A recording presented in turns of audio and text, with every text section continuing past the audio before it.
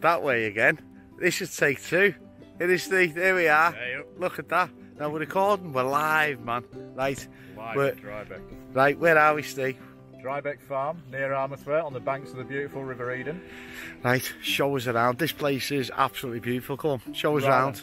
First of all, we'll go over this way, and this is what we call the lantern house because I think it looks a bit like a traditional Chinese lantern. Right, okay. So we call it the lantern. Over there, behind it, you've got our little campsite, up to 10 tents or camper vans, open from March to October. Right. That's where Steve lives up there. And he looks down on all the paupers down here, don't you, lad? Yeah, about in the tent. This is typical of all of our accommodation. They've each got their own private wood-fired hot tub. Oh, wood fires. Yeah. So that's just all been cleaned out, refilled, ready for this weekend's guests. So it's just like a wood burner. Like you get a bin full of logs and kindling to start with. There's the burner, you light your fire in there, give it about an hour and a half and it's up to heat. Is that it? Yeah. So you don't start it on a Friday and it gets warm on Sunday? No, hour and a half, maybe two hours in winter. And also, addition since the, the whole COVID situation, it used to be shared facilities. Everyone's now got their own private shower alongside Happy days. and their own loo, um, compost loo. there you go. That's where the, the campers are. He's going to tell us all this anyway. And then in here, all our other accommodations have a kitchen on the outside. This one we've done it inside. Ah, look at this. Tell you what, you're not expecting that, are you? Yeah. It smells like a um, sauna. Yeah, yeah. No, that's the uh, the one they're all made out of larch, which has a lovely scent to it. Uh, I've also supplied, got electricity and mains water, so you get a little oven with grill and a double hob, your electric kettle, fridge, and all your crockery and utensils, and a wood burning stove. How cool is this? This pull out into a bed or something? Futon sofa bed pulls out, and then you have your bedding for it in there, already Right. made up. That changed every month. When I th- when I think it's time to change my shirt, I'll change the bedding as well. Hey, look at that stove as well. This is nice, isn't it? Uh, you know, I wasn't expecting this. No. No. Good. It's, it's bright and light and... It's nice to surprise. people. Ah. Well, there you got your own little picnic area here. This here, your own like little barbie area. Yeah, I've uh, planted this willow two years ago, so this next winter I'll cut it right down, and then next spring and summer it'll really sprout up and thicken up, so it'll give you a, a nice little private seclusion. Right, this is this is absolutely. Ah, it is. It's idyllic. So, Armathwaite, East Carlisle, not to be confused with the other Armathwaite. Um, and if you want the getaway on your doorstep, well, you got this spot here. This is your um, this is your campsite as you say, all come with facilities and whatnot. Um, and another field over there. And not only can you come and camp here, um, or stay in one of their quirky little lodges. That was lovely in there. Um, you've got this as well. And he also does events. Well, he had loads of events booked for this year. March, April, May. But they got cancelled. Well, the old well got cancelled, didn't it? Um, yeah, look at that. They're riding there between that one there. Kids having a good time. And then you got these quirky little places as well. Little gypsy caravan here. Look at that. Hi, so they have like events like they have uh, like that stand up paddle boarding, um, beer festivals, like just like um, music events, and it's available for hire for various groups.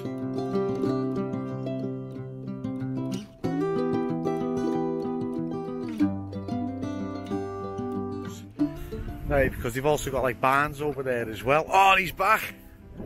Hiya. Hiya. Right, people this- in there? Uh, no, not yet. Oh, come on, quick, hurry up before So they get in. Gypsy caravan, Evelyn.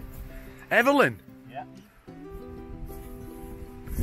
Look, there you go. Look. It's- This is Oh. this is probably my favourite because it's own private little corner, looking out onto the river. You've got the beck just down here. I, I think it's just fantastic. You know what? I could just keep this camera here. Yeah. Forever. Oh, there. Uh, Hot tub. yeah, this is the one I was telling you about, which was a bath I got out of the salvage yard in Penrith, where I got the commode from, the toilet for the other. So it's a Japanese pool bath. Very Yeah. deep, shaped like a seat inside. I drilled a couple of holes in it and plumbed a wood burning heater into it to Yeah. heat it up. Have a lad. Have a fire, you can barbecue on it, cook a, cook a bit of food on it. They're all sighted, so the prevailing weather always comes from that direction. Yeah. So we've sighted them all so that you're not going to get the rain blowing in. Oh, all right. What rain in Cumbria? You get much? Not not often. No. Now and again. Oh, look at this. It's like a work of art, isn't it? Yeah. Where'd you find this? Bought it, a friend of ours. Did you? So if you go up the steps, Steve, you'll see that that's a double bed on top, Yeah, yeah, yeah.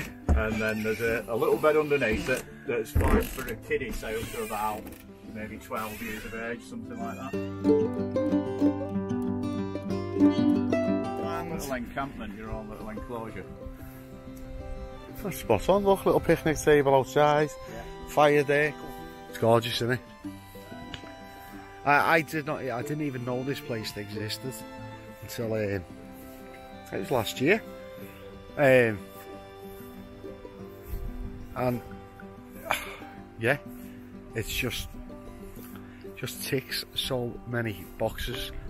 Um, so get yourself booked on and come and enjoy this. Come and escape. And you know what? If you're in Carlisle, it's, it's what 25 minutes down the road. Might as well be a million miles away. If you're in Penrith, 45 minutes up the road. Not even that. If you're out West Cumbria way, whoa, what?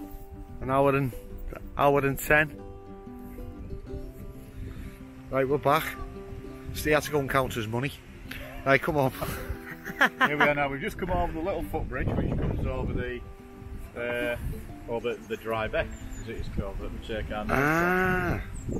Yeah, but it's not dry though, is it? No. Right, this is our yurt. This is the one uh, accommodation that we've had the longest uh, ever since we first started. Right. So this was the very first one. Yeah. Oh no, I, sorry. The yurt and the gypsy caravan together. Is someone in there? No, we can go in and have a look. And have a butcher's. it's got its own kitchen along the side. Different to the others, but equipped to the same standard. So you can sit here and have a nice little fire pit going. It's got its fireball. I'm coming. I'm coming in here, like. Wow. Look at that. Yeah. That's mince, isn't it? Yeah, really like them. But Where's- this this style of yurt, a lot of them, they have the roof poles that come straight down to the top of the walls. So here, I'll show you here, roof poles that come straight down to there. These have got these steam bent roof poles, so it gives you more headroom all the way around. Wow.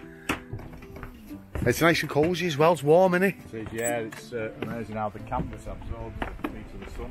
Oh, there you And go. then round the back of it, again, it's got its own hot tub. Screened off for a bit of privacy. Hey, you put water in them as well, Yeah, all year round. yeah, yeah. Wow. You gotta pay extra for the water? No. If you need more firewood, you pay extra for that, but it's only like a tenner for a wheelbarrow load of firewood. It's not bad, is it? Go on, what else we got? This is lovely, eh? COVID, everyone's got their own facilities, but these have been divided between the yurt Yeah. and the shepherd's wagon over Right. there. So like the yurt has the right hand shower and the right hand loo, the shepherd's one wagon the left hand ones. Right, cool. What's happening with there? Over here. There you go. This is the shepherd's wagon kitchen.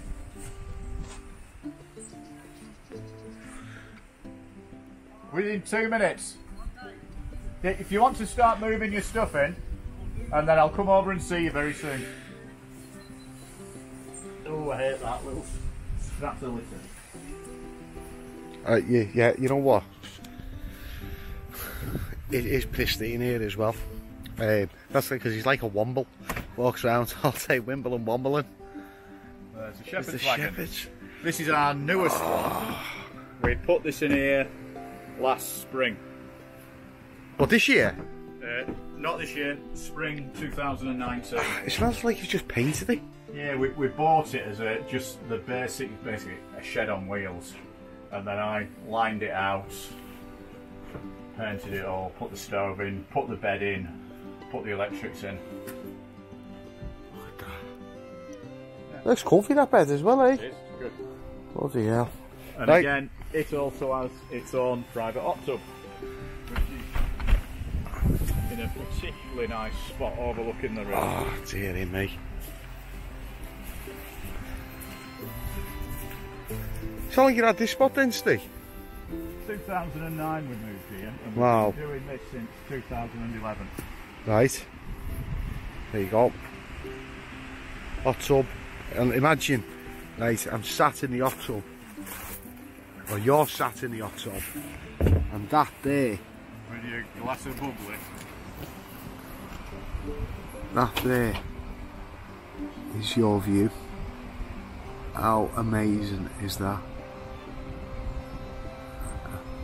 Look at that. How cool is that? That's spot on that lake. It is good, Steve. Enjoying that, you? Yeah, I do just think, honest to God, it's like I, I, I fell in love with the place when I seen it the first time round. But like literally taking the time to go in and look at all your sheds, it's really nice.